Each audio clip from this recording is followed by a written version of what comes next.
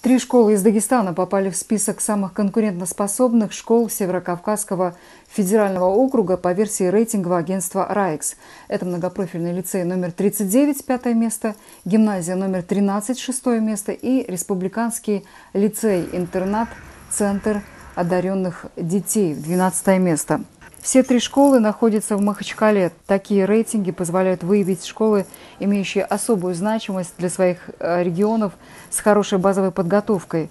Благодаря высокому уровню обучения выпускники этих школ имеют возможность поступать в лучшие университеты страны, говорится в описании рейтинга.